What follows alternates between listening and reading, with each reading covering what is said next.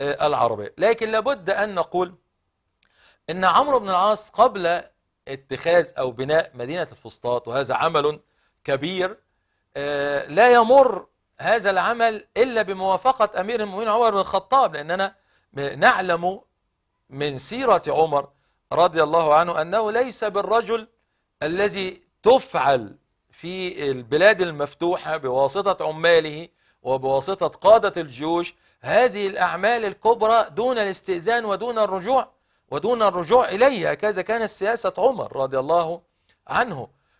فعمر بن العاص أرسل إلى أمير المؤمنين إلى عمر بن الخطاب.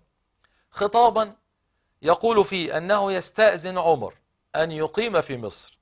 استمر إقامته في مصر بعد السنوات التي أقامها في أثناء فتحها وحق له في الحقيقة أن يقيم هو وأن يكون هو الحاكم لمصر. فاستأذنه في أن يقيم في مصر واستأذنه في أن يخط مدينة جديدة للمسلمين في اللي هي مدينة الفسطاط.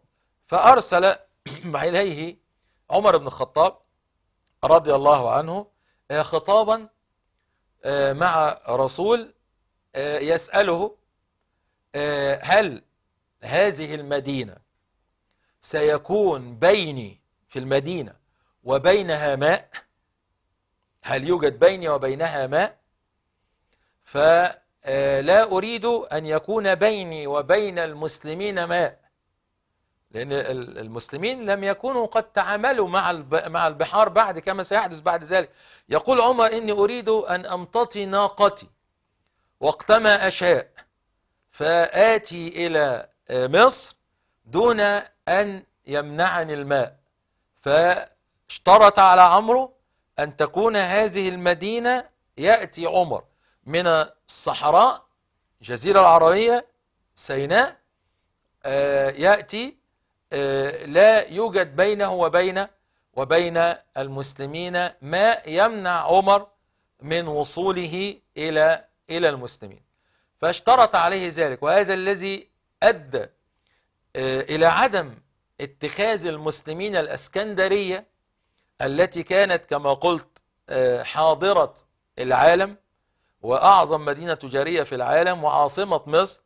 هذا السبب هو الذي جعل عمرو بن العاص لا يتخذ إسكندرية عاصمة لمصر كما كانت.